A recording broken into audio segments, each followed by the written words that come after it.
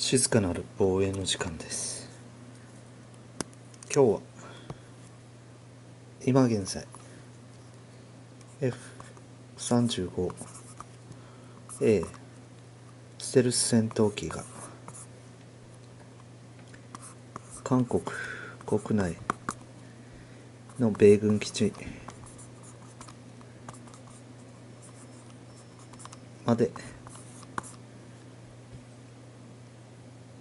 納入されています。この問題について少し考えていきます。韓国が購入する F35A ステルス戦闘機ですがまだまだ韓国側へ引き渡されたという話は来ていません。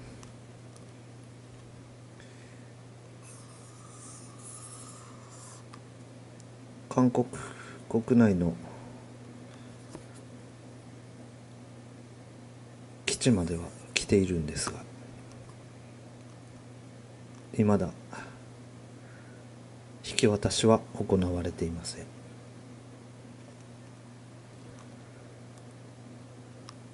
まあ米軍がすぐ引き渡せばいいんでしょうが米韓の話の流れも食いつ食い違っている状態もありますしやはり情報漏洩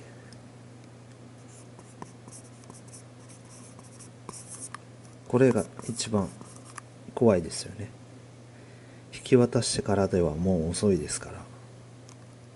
今の韓国政府情勢を考えるとやはり難しいような気もします。この情報漏洩で北朝鮮へ向かい中国ロシアと漏れる。しかもステルス。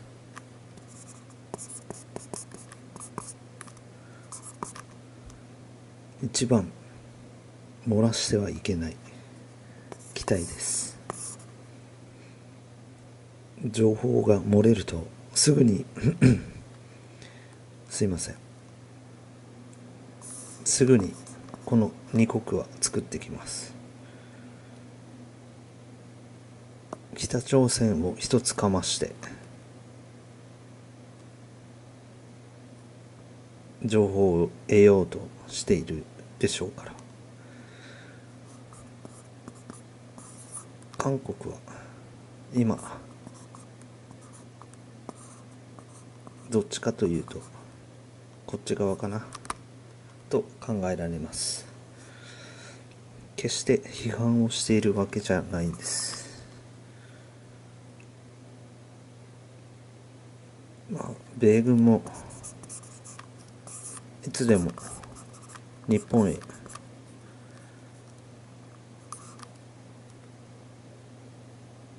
来る体制は整えています。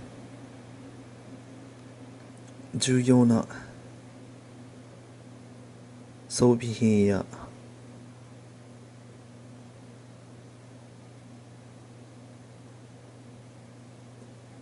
隊員たちも日本へ移動を開始しています。これは秘密裏に行われていることですがここで言うのも変です。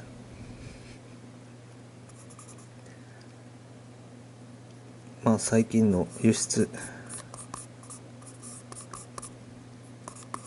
規制がかかったことで慌てている韓国ですがまあそれは今までの状況を見てみるともう遅いのかなと思われます。今考えるとあのレーダー照射問題。P1 哨戒機。あの時北朝鮮に渡していたものがこれじゃないかなと。推測です。背取りを行ってたのがこれかな。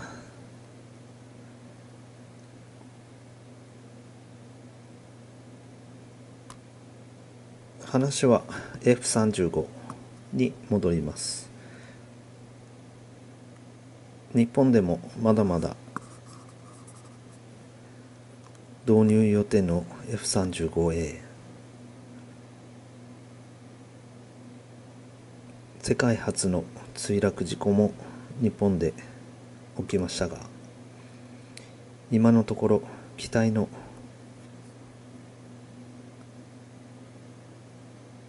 損傷や誤作動が原因で墜落とは断定されていません。しかし今から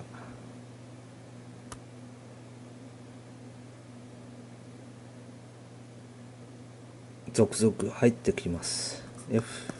F35B も日本は導入します。韓国はもう F35A はいらないのかなと一人感じています。